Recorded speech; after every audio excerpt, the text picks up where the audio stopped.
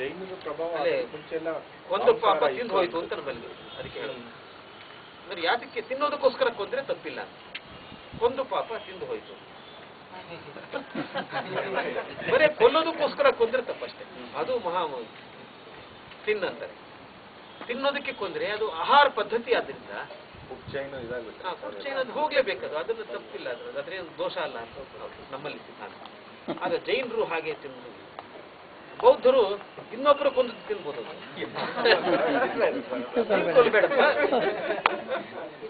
ಅವನು ಶಿಕ್ಷೆ ಬಂದು ಕೇಳ್ತಾನೆ ಬುದ್ಧನನ್ನ. ಸ್ವಾಮಿ, ನಾವು ನೀವು ಹೇಳಿದಿರಾ ಯಾರ ಮನೆಗೆ ಹೋಗಿ ಭಿಕ್ಷು ಭಿಕ್ಷೆ ಕೇಳಿದ್ರು ಕೂಡ ಅವ್ರು ಹಾಕಿದ್ದನ್ನು ತಗೋಬೇಕು, ಪ್ರಶ್ನೆ ಕೆಲವು ಮನೆಯವರು ಮಾಂಸಾಹಾರ ಹಾಕ್ಬಿಟ್ಟು ಏನ್ ಮಾಡ್ಬೇಕು ದೊಡ್ಡ ಪ್ರಶ್ನೆ ಆಗ್ಬಿಡುತ್ತೆ ಬುದ್ಧನ ಮಾಂಸಾಹಾರ ಹಾಕ್ಬಿಡ್ತಾರೆ. ಯಾವಾಗ ನೀನು ಬೇಡ ಅಂತಂದ್ರೆ? ಅದು ಸನ್ಯಾಸ ಧರ್ಮ ಅಲ್ಲ. ಕೊಟ್ಟಿದ್ದು ತಗೋಬೇಕಲ್ವ? ಅದಕ್ಕೆ ಬುದ್ಧ ಹೇಳ್ತಾನೆ. ಹಾಗೆ ಬಂದರೆ ತಗೋ ಪರವಾಗಿಲ್ಲ. ಆದರೆ ನೀವು ಕೊಲ್ಲಬೇಡ ಕೊಲ್ಲಬಾರದು ಕೊಲ್ಲುವುದನ್ನು ನೋಡಬಾರದು. ಅದು ಸಂಪೂರ್ಣ ರೂಪ ಪರಿವರ್ತನೆಯಾಗಿ ಅಡಿಗೆ ಆದಾಗ ತಿನ್ನಬಹುದು. ಬಿರಿಯಾನಿ ತಿನ್ಬಹುದು ಕೋಳಿ ತಿನ್ಬಾರ್ದು ಕೋಳಿನೇ ತಿನ್ಬೇಡ. ಆ ಚಿಕನ್ ಬಿರಿಯಾನಿ ಆದ್ರೆ ತಿನ್ಬಹುದು ಅದು ಕೋಳಿ ಆಕಾರ ಇಲ್ಲ ಅದು. ಅದು ಆಹಾರ ಸಾಮಗ್ರಿ ಆಗ್ಬಿಟ್ಟಿದೆ ಆಗ್ಲಿ ಅಂತ. ಅದು ಬುದ್ಧ. ಅದು ಬುದ್ಧ ಅಷ್ಟು ಹೇಳ್ತಾರಲ್ಲ ಇದಕ್ಕೆ ಇಲ್ಲ ಅಂತ ಹೇಳಿದ್ರೆ ಬಟ್ ಬುದ್ಧಿಸಮ್ ಕಂಟ್ರೀಸು ಸಿಕ್ಕಾಬಡೆ ನಾನ್ ವೆಜಿಟೇರಿಯನ್ಸ್ ಯಾವುದೇ ಬುದ್ಧಿಸಮ್ ಕಂಟ್ರೀಸ್ ಹೋದ್ರು ಸಿಕ್ಕಾಬಡೆ ನಾನ್ ವೆಜ್ ಅವ್ರು ಹಾವು ಗಿವು ಏನು ಬಿಡಲ್ಲ ಕಪ್ಪೆ ಹಾವು ಎಲ್ಲ ತಿಂದ್ಬಿಡ್ತಾರೆ ಸಿಕ್ಕಾಪರಿ ನಾನ್ ವೆಜಿಟೇರಿಯನ್ ಕಂಟ್ರೀಸ್ ಅವೆಲ್ಲ. ಆಶ್ಚರ್ಯ ಆಗುತ್ತಾ? ಅವ್ರ ಬುದ್ಧ ಹೇಳಿದ್ರ ಸರ್, ಆಗಿಲ್ಲ ಸರ್ ಅದು ಅಲ್ಲಿ ಚೈನಾದಲ್ಲಿ ಇರ್ತಕ್ಕಂಥ ಫೆಮೈನ್ ಎಷ್ಟಿತ್ತು ಅಂತ ಹೇಳಿದ್ರೆ ಯಾರನ್ನ ಮನುಷ್ಯರನ್ನ ಹುಟ್ಟಿದ ಮಕ್ಕಳನ್ನು ಕೊಂದು ತಿನ್ನುವಷ್ಟು ಹಸಿವು ಇದ್ದಿದ್ರಿಂದ ಅವರು. ತಿನ್ನ ಬರಗಾಲ. ಉಂಟಾಯ್ತು. ಚೈನಾ ಬಿಡಿ ಮಲೇಷಿಯಾಕ್ ಬನ್ನಿ. ಮಲೇಷಿಯಾಕ್ ಬನ್ನಿ.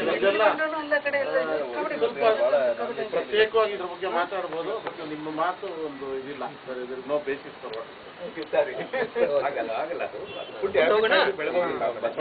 ನಮಗೆ ಸಮಯ ಕಡಿಮೆ ಇದೆ. ನೂರ ಎರಡನೇ ನೋಡಿ ಸರ್. ಅಂದ್ರೆ ಅರವತ್ತನೇ ಪುಟ. ಅರವತ್ತನೇ ಪುಟದಲ್ಲಿ ಇನ್ನೊಂದು ಬಹಳ ಪ್ರಸಿದ್ಧವಾದ ಪೌರ ನೂರ ಎರಡನೇ ಪದ್ಯ ಅದು. ಮರ್ತ್ಯಲೋಕವೆಂಬುದು ಕರ್ತಾರನ ಕಮ್ಮಟವಯ್ಯ ಮರ್ತ್ಯಲೋಕವೆಂಬುದು ಕರ್ತಾರನ ಕಮ್ಮಟ ಭೂಮಿ. ಮರ್ತ್ಯಲೋಕ ಅಂದ್ರೆ? ಮೃತ್ತಿಂದ ಬಂದಿರೋದು ಮರ್ತ್ಯ ಅನ್ನೋದು. ಮೃತ್ ಅಂದ್ರೆ ಮಣ್ಣು. ಅದಕ್ಕೆ ಮೃಣ್ಮಯ. ಮೃಣ್ಮಯ. ಮತ್ಯ ಲೋಕವೆಂಬುದು ಕರ್ತಾರನ ಕಮ್ಮಟ. ಕರ್ತಾರ ಅಂದ್ರೆ ಸೃಷ್ಟಿಕರ್ತ ಕ್ರಿಯೇಟರ್ ಅವನ ಕರ್ಮ ಕಮ್ಮಟ ಅಂದ್ರೆ ಕರ್ಮಶಾಲಿ. ಮರ್ತ್ಯಲೋಕ ಎಂಬುದು ಕರ್ತಾರನ ಕಮ್ಮಟ. ಕಮ್ಮಟ ಅಂದ್ರೆ ಶಂಕಶಾಲಿ ಕೂಡ ಹೌದು. ನಾಣ್ಯಗಳನ್ನು ಮುದ್ರಿಸುವಂತ. ನಾಣ್ಯಗಳನ್ನ ಪ್ರಿಂಟ್ ಮಾಡ್ತಾರಲ್ಲ. ಕರ್ತಾರನ ಕರ್ತಾರನ ಮತ್ತೆ ಲೋಕ ಎಂಬುದು ಕರ್ತಾರನ ಕಮಟ ಇಲ್ಲಿ ಸಲ್ಲುವರು, ಅಲ್ಲಿಯೂ ಸಲ್ಲುವರು. ಇಲ್ಲಿ ಯಾರಿಗೆ ಬೆಲೆ ಇದೆಯೋ ಅವರು ಎಲ್ಲಿ ಹೋದ್ರೂ ಬೆಲೆ ಇರುತ್ತೆ ಅದು ಕೋಟಾರಾಣಿ ಆಗಿರಲ್ಲ. ಅಂದ್ರೆ ಇಲ್ಲಿ ಸುಳ್ಳು ನಾಣ್ಯ ಮತ್ತು ನಿಜ ನಾಣ್ಯಗಳ ಬಗ್ಗೆ ಮಾತಾಡ್ತೇನೆ ಬಸವ ಅವನು ಕೋಶಾಧ್ಯಕ್ಷನೂ ಆಗಿದ್ದರಿಂದ ಅದು ಅವನಿಗೆ ಬಹಳ ಹತ್ತಿರದ ರೂಪಕ ಪ್ರಪಂಚನ ಅವನು ಆ ಮರ್ತ್ಯಲೋಕ ಎಂಬುದು ಕರ್ತಾರನ ಕಮ್ಮಟವಯ್ಯ. ಇಲ್ಲಿ ಸಲ್ಲುವ ಇಲ್ಲಿ ಯಾವ ನಾಣ್ಯ ಸಲ್ಲತ್ತೋ ಅಂದ್ರೆ ಅದು ಸರಿಯಾಗಿದೆಯೋ ಅದು ಬೇರೆ ಎಲ್ಲಿ ಹೋದ್ರು ಮಾರ್ಕೆಟ್ ನಲ್ಲೂ ಅದಕ್ಕೆ ಬೆಲೆ ಇದೆ. ಇಲ್ಲಿ ಸಲ್ಲುವರು ಅಲ್ಲಿ ಇಲ್ಲಿ ಅಂದ್ರೆ ಮರ್ತ್ಯ ಅಲ್ಲಿ ಅಂದ್ರೆ ಸ್ವರ್ಗ. ಇಲ್ಲಿ ಸಲ್ಲುವರು ಅಲ್ಲಿ ಸಂಪೂರ್ಣ ವಿರುದ್ಧ ಚಲನೆ. ಇದೆ ದಾಸರಿಗೂ ಬಸವಣ್ಣ ಮತ್ತು ಪುರಂದ್ರ ಇವರು ಹೋಗ್ತಾರೆ ಇಲ್ಲಿದ್ರ ಮೇಲಿಂದ ಸ್ವರ್ಗ. ಅಲ್ಲಿ ಅವ್ರು ಹೇಳಿದೇನಂದ್ರೆ ಅಲ್ಲಿ ಹೋದ ನಮ್ಮ ಮನೆ. ಅಲ್ಲಿ ಹೋದ ನಮ್ಮ ಅದು ರಿಯಲ್ ಇಲ್ಲ ಸುಮ್ಮನೆ ಬಂದು ಹೋಗಿದ್ದೇನೆ ಅಷ್ಟೇ ಇದು ಎಷ್ಟು ಅವರು ಇಲ್ಲಿ ಸಲ್ಲುವರು ಅಲ್ಲಿ ಸಲ್ಲುವರು. ರಿವರ್ಸ್ ಇದು ನಿಜಪ್ಪ ಬೇಸ್ ಇಲ್ಲಿ ನೀವು ಸರಿಯಾಗಿದ್ರೆ ಅಲ್ಲಿಗೆ ನಿಂಗೆ ಬೆಲೆ ಇರುತ್ತೆ ಅಂದ್ರೆ ಪುರಂದರ ಮತ್ತು ಬಸವ ಇದಾರಲ್ಲ ಅವ್ರದ್ದು ಹೀಗೆ ಮತ್ತು ಹೀಗೆ ಕೆಲವು ಮೂಮೆಂಟ್ ಅಲ್ಲಿ ಹುದು ನಮ್ಮ ಮನೆ ಇಲ್ಲಿ ಬಂದೆ ಸುಮ್ಮನೆ. ಇಲ್ಲಿ ಹುದು ಇಲ್ಲಿ ಯಾವುದು ಸಲ್ಲ ಇಲ್ಲಿ ಸಲ್ಲುವುದು ಅಲ್ಲಿ ಸಲ್ಲುವುದು ಇಲ್ಲಿ ಸಲ್ಲೋದು important that is more important ನೋಡಿ ಎಷ್ಟು ವ್ಯತ್ಯಾಸ ಇದೆ ಇಬ್ಬರಲ್ಲೂ ಮರ್ತ್ಯಲೋಕ ಎಂಬುದು ಕರ್ತಾರನ ಕಮ್ಮಟವಯ್ಯ. ಇಲ್ಲಿ ಸಲ್ಲುವರು ಅಲ್ಲಿಯೂ ಸಲ್ ನಡೆಯೋ ನಾಣ್ಯ ಅಂತಾರಲ್ಲ. ಇಲ್ಲಿ ನಡೆದ್ರೆ ಅಲ್ಲಿ ನಡೆಯುತ್ತೆ. ಇಲ್ಲಿ ಸಲ್ಲುವರು ಅಲ್ಲಿಯೂ ಸಲ್ಲುವರ. ಇಲ್ಲಿ ಸಲ್ಲದವರು ಅಲ್ಲಿಯೂ ಸಲ್ಲರಲ್ಲ ಕೈಲಾಸದಲ್ಲೂ ಬೆಲೆ ಇಲ್ಲ. ಇನ್ನೂ ಆಶ್ಚರ್ಯ ಅಂದ್ರೆ ವೀರಶೈವ ಸಿದ್ಧಾಂತ ಪ್ರಕಾರ ಕೈಲಾಸದಲ್ಲಿ ತಪ್ಪು ಮಾಡಿದವರು ಭೂಮಿ ಬರ್ತಾರೆ. ಅದನ್ನ ಸರಿಪಡಿಸ್ಕೊಳ್ಳಿ ಸರಿ ಮಾಡಿನೇ ಹೋಗ್ಬೇಕು. ಅಲ್ಲಿ ಎಲ್ಲಾ ನಾಯಕರು ಕೂಡ ಕೈಲಾಸದಲ್ಲಿ ಒಂದಲ್ಲ ಒಂದು ತಪ್ಪು ಮಾಡಿದವ್ರೆ. ಯಾವಾಗ ಶಿವ ಅವರನ್ನು ಇಲ್ಲಿ ಕಳಿಸ್ ಭೂಮಿ ಕಳಿಸ್ತಾನೆ. ಇದು ಶುದ್ಧಿ ಲೋಕ ಇದು. ನಿಜವಾದ ಕೆಥಾರ್ಸಿಸ್ ಆಗೋದು ಇಲ್ಲೇ ಇದೆ. ಪರ್ಗೇಟರಿ ಅಂತ ಹೇಳ್ತಾರಲ್ಲ ಕ್ರಿಶ್ಚಿಯಾನಿಟಿನಲ್ಲಿ. ಇದು ಶುದ್ಧಿ ಲೋಕ ಇಲ್ಲಿ ಬಂದವನು ಮತ್ತೆ ತನ್ನ ಶುದ್ಧೀಕರಣ ಮಾಡಿಕೊಂಡು ಕೈಲಾಸಕ್ಕೆ ಹೋಗ್ಬೇಕಷ್ಟೇ. ಕೈಲಾಸದಲ್ಲಿ ಮಾಡಲಾದ ತಪ್ಪುಗಳಿಗೆ ತಿದ್ದೋದು ಎಲ್ಲಿ ಅಂದ್ರೆ ಕ್ಷಮೆಯಾಧರಿತಿಯಾದಂತ ಭೂಮಿ. ಅವತಾರಗಳು ಅದಕ್ಕೆ ಬರುತ್ತೆ. ಅವನು ತನ್ನನ್ನು ಪ್ರೂವ್ ಮಾಡ್ಕೋಬೇಕು ಶುದ್ಧೀಕರಣ ಮಾಡ್ಕೋಬೇಕು ಅಂದ್ರೆ ಇದು ಬಹಳ ಮಹತ್ವದ ನೆಲೆ ಇದು ಮರ್ತ್ಯಲೋಕ. ಅದಕ್ಕೆ ಎಲ್ಲ ಶಿವಶರಣರ ಕಥೆಗಳು ಕೂಡ ಕೈಲಾಸದಲ್ಲಿ ಕೈಲಾಸ ಈಶ್ವರನ ಆಸ್ಥಾನದಲ್ಲಿ ಶುರುವಾಗುತ್ತೆ. ಅಲ್ಲಿ ಯಾರೋ ನಗ್ತಾನೆ ಹೋಗು ಭೂಮಿಗೆ ಅಂತ. ಯಾರನ್ನೋ ಎಡವುತ್ತಾನೆ ಹೋಗು ಭೂಮಿಗೆ ಏನೋ ತಪ್ಪು ಮಾಡಿದ್ರು ಕೂಡ ಅವನ್ನೆಲ್ಲ ಭೂಮಿ ಕಳಿಸ್ತಾರೆ. ಇಲ್ಲಿ ಬಂದು ಅವನು ಮತ್ತೆಲ್ಲ ಅದನ್ನು ಶುದ್ಧೀಕರಣ ಮಾಡಿಕೊಂಡು ಮನುಷ್ಯನ ಶುದ್ಧೀಕರಣ ಮಾಡ್ಕೊಳ್ಳೋಕೆ ಇರುವಂತ ಪವಿತ್ರವಾದ ತಪಭೂಮಿ. ತಪೋಭೂಮಿ ಭೂಮಿ ಅನ್ನೋದು. ಭೂಮಿಗೆ ಎಂಥ ಬೆಲೆ ಕೊಡ್ತಾರೆ? ನೋಡಿ ವಚನಕಾರ ಭೂಮಿನ ವರ್ಜ್ಯ ಅಂತ ಹೇಳಿದ್ರೆ ಜಾಸ್ತಿ ನಮ್ಮಲ್ಲಿ? ಆದಷ್ಟು ಬೇಗ ಇಲ್ಲಿಂದ ಹೋಗ್ಬೇಕು ನಾನು.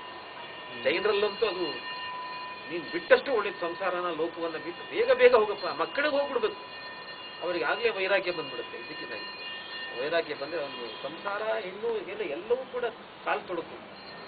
ಹೆಣ್ಣು, ಮಣ್ಣು, ಬಸವಣ್ಣ ಹೆಸರು ಯಾರು ಹಿತಗಳು ನಿಮ್ಮವರೊಳಗೆ ಇವೆಲ್ಲ ಬಂಧನ.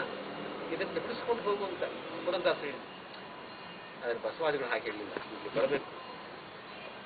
ಸತಿಪತಿಗಳೊಂದಾಗಿ ಮಾಡುವ ಭಕ್ತಿ ಹಿತವಪ್ಪುದು ಶಿವನ ಈ ಸಂಸಾರ. ಈ ಸಾಧನೆ, ಈ ಮಕ್ಕಳು, ಈ ಪ್ರೀತಿ ಇಲ್ಲಿ ಕೆಲಸ, ಇಲ್ಲಿಯ ಕೃಷಿ, ಇಲ್ಲಿಯ ಸೇವೆ, ಎಲ್ಲ ಬಹಳ ಮುಖ್ಯ ಕಣೆಯು ಹೀಗೆ ಮಾಡೋದ್ರಿಂದ ನೀವು ಅಲ್ಲಿ ಕೈಲಾಸದಲ್ಲಿ ಸಲ್ಲುವನ. ಬಹಳ ಪಾಸಿಟಿವ್ ಆಯಿತು. ವೆರಿ ವೆರಿ ಪಾಸಿಟಿವ್ ಆಮೇಲೆ ಹೆಣ್ಣು ಅಂದ್ರಂತೂ ಇವರೆಲ್ಲ ಮಾಯೆ ಅಂತಲೇ ಹೇಳೋದು. ಹೆಣ್ಣು ಅಂದ್ರೆ ಮೋಕ್ಷದ ಕಾಲ್ ತೊಡುಕೆ. ನಮ್ಮ ಎಲ್ಲ ದಾಸರಿಗೂ ಅಷ್ಟೇ. ಆಮೇಲೆ ಎಲ್ಲ ವೈದಿಕ ಚಿಂತನೆಯು ಅದನ್ನೇ ಹೇಳುತ್ತದೆ ಯಾವ ತಪಸ್ವಿ ಕೆಡಿಸ್ಬೇಕಾದ್ರೂ ಒಬ್ಬ ಅಪ್ಸರಿನೋ ಊರ್ವಶಿನೋ ಬರಲೇಬೇಕು. ಅದು ಊರ್ವಶಿ ತಪಸ್ ಮಾಡ್ತಿರೋ ವಿಶ್ವಾಮಿತ್ರ ಯಾಕೆ ಬರಲಿಲ್ಲ? ಡಾನ್ಸ್ ಮಾಡೋಕ್ಕೆ ವಿಶ್ವಾಮಿತ್ರ ಮೇನಕ್ಕೆ ಡ್ಯಾನ್ಸ್ ಮಾಡೋದು ಏನಕ್ಕೆ ಅಂತ. ಹೇಳಿದ್ರು ಹೇಳಿದ್ದು ವಿಶ್ವಾಮಿತ್ರ ಮೇನಕ್ಕೆ ಡ್ಯಾನ್ಸ್ ಮಾಡೋದು ಏನಕ್ಕೆ? ಕಾಳಿದಾಸರ ಪೇನಕ್ಕೆ. ಕಾಳಿದಾಸನ ಪೆನ್ನಿಗಂತ ಕಾಳಿದಾಸ ವಿಕ್ರಮ ಋಷಿ ಬರೀಲಿ ಅಂತ. ವಿಶ್ವಾಮಿತ್ರ ಮೇನಕ್ಕೆ ಡ್ಯಾನ್ಸ್ ಮಾಡೋದು ಏನಕ್ಕೆ? ಕಾಳಿದಾಸನ ಪೇನಕ್ಕೆ. ಪೇನ ಅಂದ್ರೆ ಪೆನ್ ಅಂತ. ಅಂದ್ರೆ ತಪಸ್ ಮಾಡೋನು ಪುರುಷ. ಅದನ್ನು ಕೆಡಿಸೋಳು ಸ್ತ್ರೀ ಅಂತ ಯಾಕೆ? ಹೆಣ್ಣು ಮಾಯಿ ಎಂಬರು ಹೆಣ್ಣು ಮಾಯಿ ಅಲ್ಲ. ಅಲ್ಲ? ಗಂಡು ಮಾಯಿ ಎಂಬರು ಗಂಡು ಮಾಯಿ ಅಲ್ಲ. ಮನದ ಮುಂದಣ ಆಶೆಯೇ ಮಾಯ ಕಾಣ ಸಂಪೂರ್ಣ ಹೆಣ್ಣಿನ ಬಗ್ಗೆ ದೃಷ್ಟಿಕೋನವನ್ನು ಬದಲಾಯಿಸಿ ಭಜನಕಾರ ಬಸವಾದಿಗಳು ಪ್ರಭುದೇವರು ಆತ್ಮದೇವ ಕೂಡ. ಬಲೆ ಮುಡಿ ಬಂದೊಡೆ ಹೆಣ್ಣೆಂಬಿರಿ. ಗಡ್ಡ ಮೀಸೆ ಬಂದೊಡೆ ಪುರುಷನೆಂಬಿರಿ ಅಂತ. ಒಳಗಿರುವ ಆತ್ಮ ಗಂಡು ಅಲ್ಲ ಹೆಣ್ಣು ಅಲ್ಲ. ಒಳಗಿರುವ ಆತ್ಮ ಹೆಣ್ಣು ಅಲ್ಲ ಗಂಡು ಅಲ್ಲ. ಮಲೆ ಮುಡಿ ಬಂದ್ರೆ ಹೆಣ್ಣು ಅಂತೀರ ಗಡ್ಡ ಮೀಸೆ ಬಂದ್ರೆ ಗಂಡು ಅಂತೀರ. ಒಳಗಿನ ಆತ್ಮ ಹೆಣ್ಣು ಅಲ್ಲ ಗಂಡು ಅಲ್ಲ. ಆತ್ಮದೇವಿ ಅಂತ ಎಷ್ಟು ಚೆನ್ನಾಗಿ ಹೇಳ್ತಾರೆ. ಮರ್ತ್ಯಲೋಕ ಎಂಬುದು ಕರ್ತಾರನ ಕಮ್ಮಟವಯ್ಯ ಇಲ್ಲಿ ಸಲ್ಲುವರು ಅಲ್ಲಿಯೂ ಸಲ್ಲುವರಯ್ಯ ಇಲ್ಲಿ ಸಲ್ಲದವರು ಅಲ್ಲಿಯೂ ಸಲ್ಲವರಯ್ಯ.